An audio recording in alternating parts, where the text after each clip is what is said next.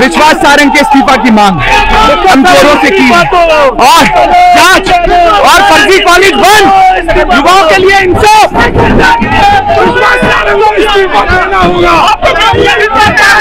आज पुलिस का अत्याचार नहीं सही और पुलिस ने जो रोका है, वो ये दिखता है कि हम लोगों को आंदोलन करने से रोका।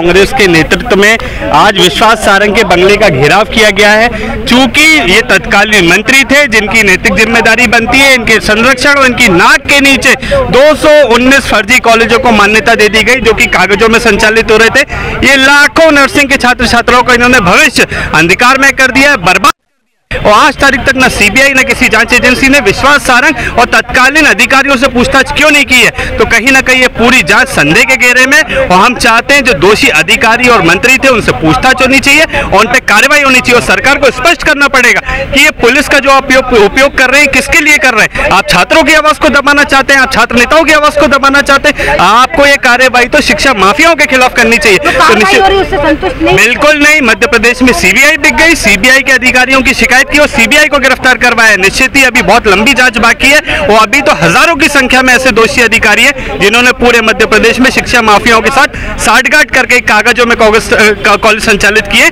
जिसकी वजह से लाखों छात्र छात्राओं का भविष्य बर्बाद हो गया।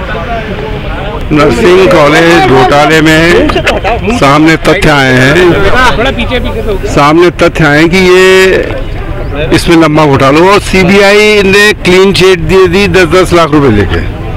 बाकी पटवारी और दूसरा प्रशासन भी बिक गया। इसलिए अब ये सीबीआई तो बचा नहीं। अब ईडी से इसकी जाँच होना चाहिए। भाई साहब इसमें छाछठ नर्सिंग कॉलेज पर ताला लगाने की भी बात कर दी गई थी तो क्या इससे संतुष्ट कोई ताले नहीं लगे हैं सब खुले हैं और चल रहे हैं। इसलिए ईडी जाँच हो और दोषी लोगों पर कार्रवाई हो।